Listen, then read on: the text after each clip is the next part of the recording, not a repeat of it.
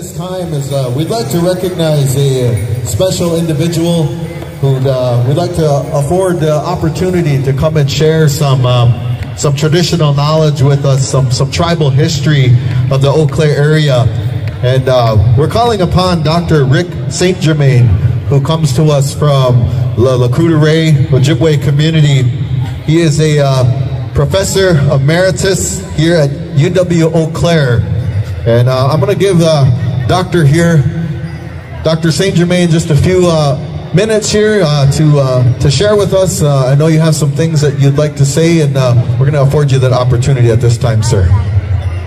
Miigwech, Ashke, Nindawe, Magadadug, Yegat, Miigwech, Windham Sa, Ye Nina was yan, Dananaba, Shka, Gayan, Anowe, Tamawe, Guangu, Manadug, Mi Wade, Dawa, Zai, Gining, Wen Chian, Mi Wade, Wapagni, Wen, Mi Wea, No, Mishomasanan, Gaina Wendama, Gayan, Gainina, Wade. Folks, uh, it's great to be back. I left Eau Claire about a dozen years ago after teaching over at the university. I was a history professor and education professor.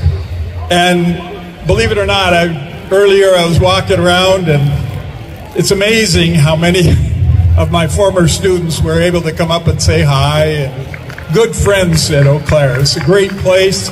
It's a rich history here.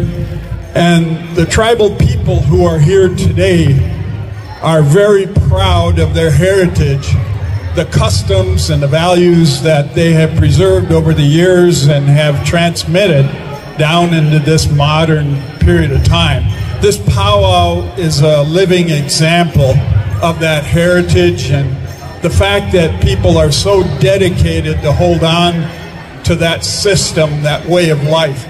This Chippewa River Valley here, and also over by Stout, the uh, Red Cedar River Valley was rich with tribal history going back thousands of years.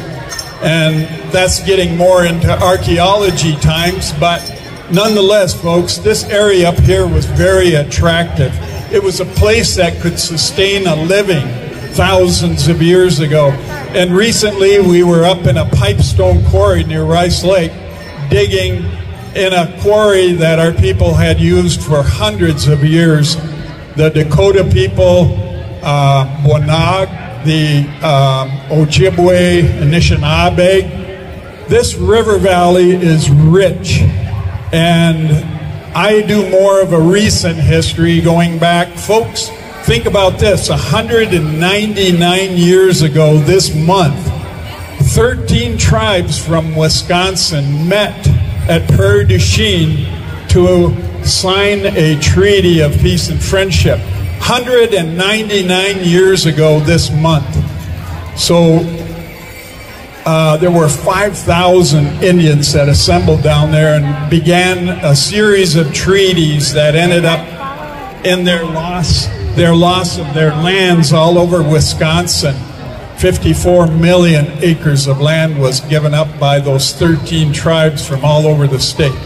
Let's go back to the Chippewa River Valley and the Red Cedar Valley, Black River Valley, and so on. Folks, this area north of us was rich in pine trees, and it represented a value to the Americans who were moving into this region uh, about 150 or so years ago. And with that was the loss of our lands and placed on reservations. But I would like to go into the valley. The Wanag people were here first. And we know that they probably went back over a thousand years in this region. This was the borderland here between the forests of the north, the pine uh, trees, and also the grasslands, this region and south. So this was a really rich and valuable region.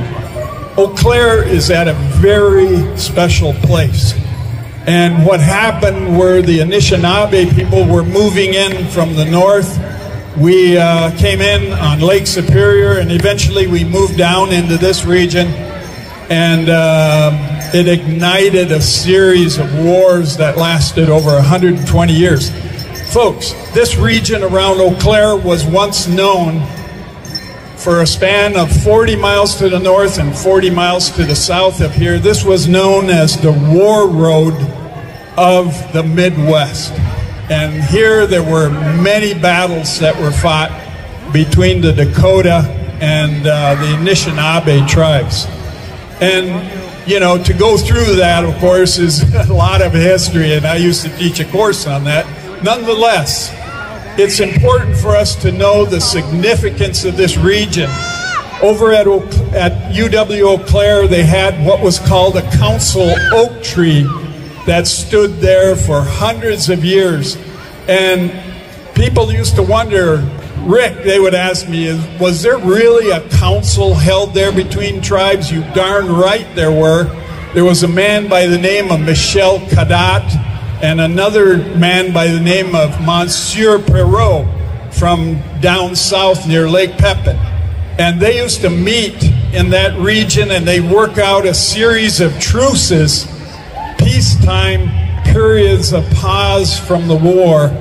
And so that council oak tree down on the campus of UW Eau Claire was significantly a place where Perrault and Cadotte used to meet and work out a, a peace, and then the tribes would come together. The, the Dakota and the Ojibwe would come together, and there they would very tenuously for about three months uh, break up together in mixed hunting groups, and they would go out and hunt the deer and the elk and even the buffalo from this region. So this area is rich, and our tribal people have preserved that history.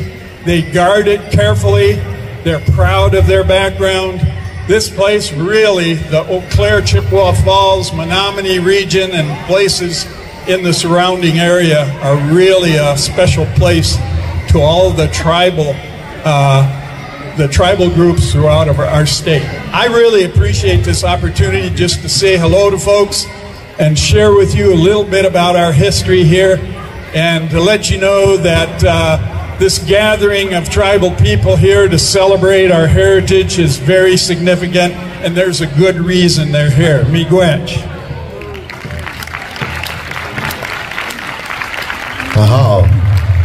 Thank you, Professor St. Germaine, for those good words and imparting that, uh, that knowledge with each and every one of us here.